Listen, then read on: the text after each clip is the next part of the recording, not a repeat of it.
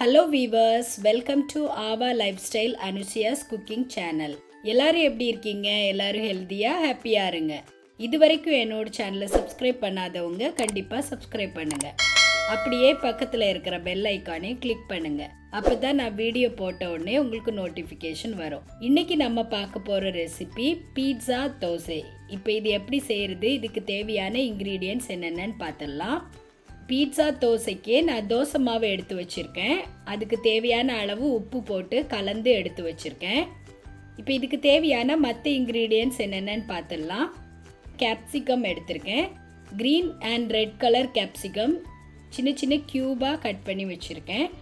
Onion நீளமாக cut பண்ணி தனித்தனி பெட்டல்ஸாக எடுத்து வச்சுருக்கேன். Green colour capsicum lengthwise cut பண்ணி வச்சுருக்கேன். அப்புறம் கலர்ஸ்க்காக தக்காளியும் லெங்த் வைஸ் கட் பண்ணி வச்சுருக்கேன். பீட்சாக்கு தேவையான சீஸ் எடுத்திருக்கேன். மொசரலா சீஸை நல்லா கிரேட் பண்ணி எடுத்து வச்சுருக்கேன். செடார் சீஸை நீளமாக ஸ்டிக் மாதிரி கட் பண்ணி வச்சுருக்கேன். இப்போ இந்த பீட்சாக்கு தேவையான பீட்சா சாஸும் எடுத்திருக்கேன். இப்போ இந்த பீட்சா தோசை எப்படி செய்கிறதுன்னு பார்க்கலாம். ஒரு அகலமான நான்ஸ்டிக் பேன் வச்சுருக்கேன். அது சூடானதும் தேவையான அளவு எண்ணெய் ஸ்ப்ரெட் பண்ணிக்கலாம். நாம் எடுத்து வச்சுருந்த அந்த தோசை மாவில் குட்டியாக ஒரு ஊத்தப்பம் மாதிரி ஒரு தோசை ஊற்றிக்கலாம் ஒரு ஒன் மினிட் அப்படியே விட்டுடலாம் அதுக்கப்புறம் அதை திருப்பி போட்டுடலாம் இப்போ இது மேலே நாம் எடுத்து வச்சுருந்த அந்த பீட்சா சாஸை நான் ஸ்ப்ரெட் பண்ணிக்கிறேன். அது மேலே நாம் எடுத்து வச்சுருந்த அந்த செடார் சீஸை அரேஞ்ச் பண்ணிக்கலாம். அது மேலே மொசரலா சீஸ் கொஞ்சம் சேர்த்துக்கிறேன். அதுக்கப்புறமா நடுவில் ஒரு ரெட் கலர் கேப்சிகம் வச்சுக்கிறேன்.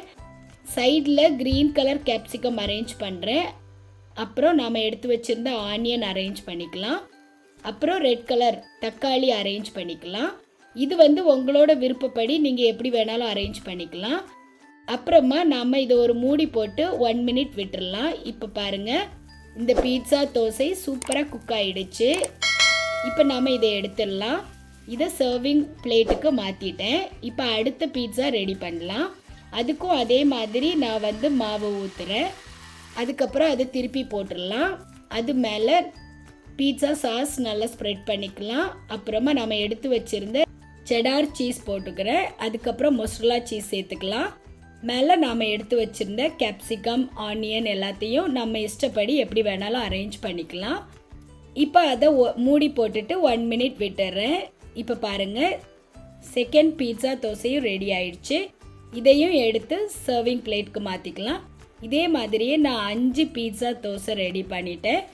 அது நம்ம விருப்பப்படி எப்படி வேணாலும் அந்த கேப்சிகம் ஆனியன் எல்லாம் அரேஞ்ச் பண்ணிக்கலாம். நம்ம தேவைக்கு ஏற்ற மாதிரி டிசைன் பண்ணிக்கலாம். சூப்பரான டேஸ்டியான பீட்சா தோசை ரெடி ஆயிடுச்சு. இது ரொம்ப எம்மியாக இருக்கும். அது கலர்ஃபுல்லாக இருக்கிறதுனால குழந்தைங்க நல்லா விரும்பி சாப்பிடுவாங்க.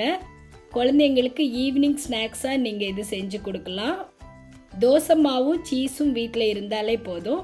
நீங்கள் இந்த மாதிரி சூப்பராக பீட்சா தோசை செஞ்சு கொடுக்கலாம். ஹெல்த்தியாகவும் இருக்கும்.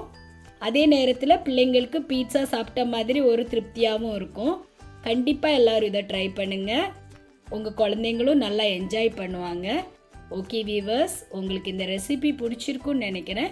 இது வரைக்கும் என்னோட சேனலை சப்ஸ்கிரைப் பண்ணாதவங்க கண்டிப்பாக சப்ஸ்கிரைப் பண்ணுங்கள் அப்படியே உங்கள் ஃப்ரெண்ட்ஸ்க்கும் ஷேர் பண்ணுங்கள் ரெகுலராக என்னோட சேனலை வாட்ச் பண்ணுங்கள் சப்போர்ட் பண்ணுங்கள் நான் இதே மாதிரி இன்ட்ரெஸ்டிங்கான ரெசிபிஸ் உங்கள் கூட ஷேர் பண்ணிகிட்டே இருப்பேன். இந்த ரெசிபி பிடிச்சிருந்தா லைக் பண்ணுங்கள் ஷேர் பண்ணுங்கள் உங்களோட கமெண்ட்ஸ் எல்லாம் கமெண்ட் பாக்ஸில் போடுங்க.